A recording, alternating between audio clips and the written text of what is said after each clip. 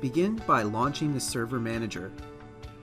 From within the Server Manager, at the top right corner, select Tools, then Internet Information Services IIS Manager. Now, under Connections, select the workstation's name. Once the name is selected, look to the center of the screen and locate Server Certificates. Once selected, double-click.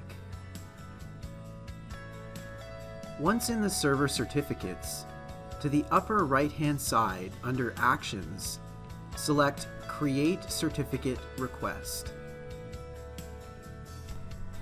You will now begin creating your certificate signing request. Start by providing your common name, which is the full URL for which the SSL TLS certificate is to be created.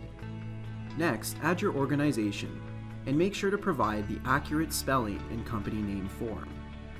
Provide an organizational unit if necessary, and then the location, including the city, province or state, and country where the certificate is to be installed. Hit Next when all of this information has been filled out. Now for the cryptographic properties. Leave the cryptographic service provider Microsoft RSA S-channel cryptographic provider.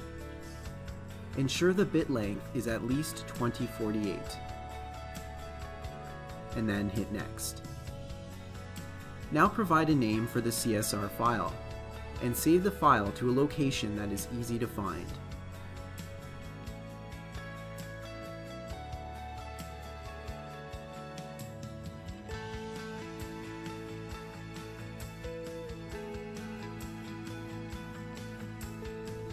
And that's it.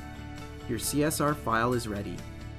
Use Notepad to open the file so that you can copy and paste the CSR contents to request an SSL TLS certificate from our retail website or by using your Entrust Certificate Services Enterprise account.